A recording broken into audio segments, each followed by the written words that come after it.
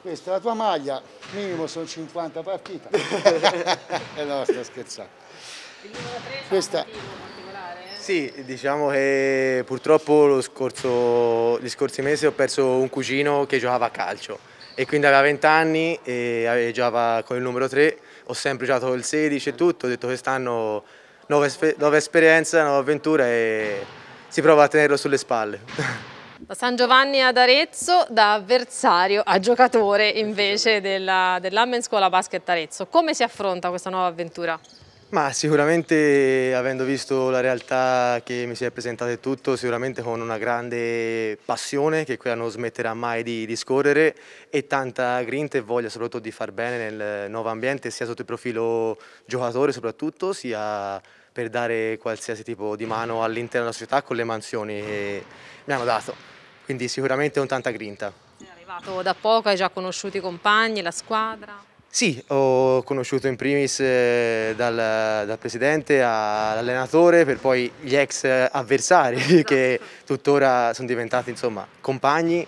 Già in campo prima ci salutavamo, ci conoscevamo e tutto, quindi c'è sempre stato un super rapporto e ora trovarli compagni di squadra è ancora un piacere.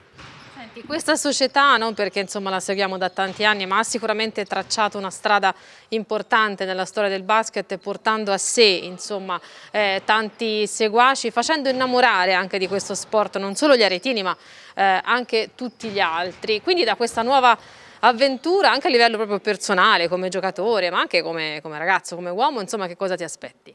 Ma mi aspetto sicuramente in primis tanto divertimento, sia da apprendere che da trasmettere. In più, dietro a questa cosa qui sicuramente ci toglieremo grosse soddisfazioni e sotto il profilo invece professionale, ripeto, secondo me è un inizio di un percorso nella quale insomma sono, sono contento di essere nel posto giusto.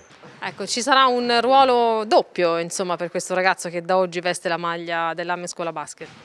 Sì, Mirko, oltre ad essere, per quanto mi riguarda, uno dei migliori giocatori della Scigold toscana, ecco perché siamo, sono veramente contento e soddisfatto che Mirko sia venuto ad Arezzo. Eh, Mirko ha, ha approfittato diciamo, di questa situazione perché eh, viene fuori da un percorso lavorativo. Mirko è anche uno specializzato nella, nella preparazione, è un preparatore atletico.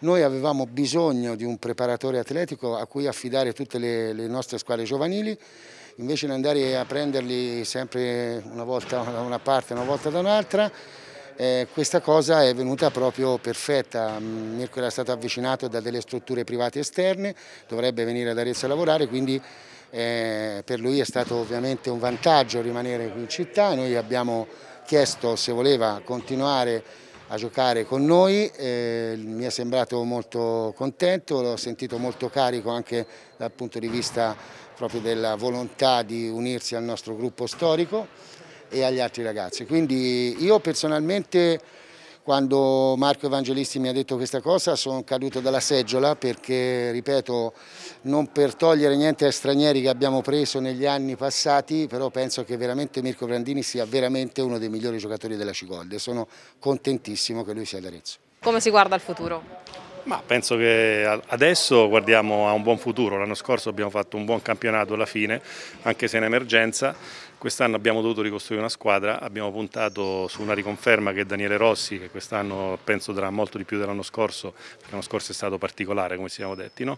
Abbiamo l'inserimento di Brandini, abbiamo l'inserimento di un ragazzo lungo, quindi la squadra adesso penso sia abbastanza competitiva, quindi siamo abbastanza positivi per quest'anno che viene.